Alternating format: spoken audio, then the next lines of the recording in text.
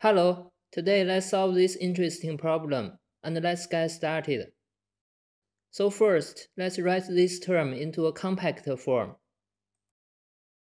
So we got here. And I copied here.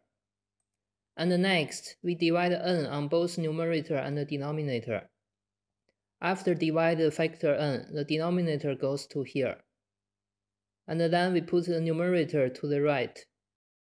Here we define xk equals to k over n. So this equation can be written into this form. And then we draw the graph for the function 1 over 1 plus x. So we divide it into n rectangles. And for each rectangle, the width is 1 over n. And next, we mark the x-coordinate for each rectangle. So if we look at this equation, the right-hand side is actually the Riemann sum. Therefore, we can write it into an integral. And then we just integrate it. After plugging number, we got this final answer. And don't forget to subscribe my channel and give a like.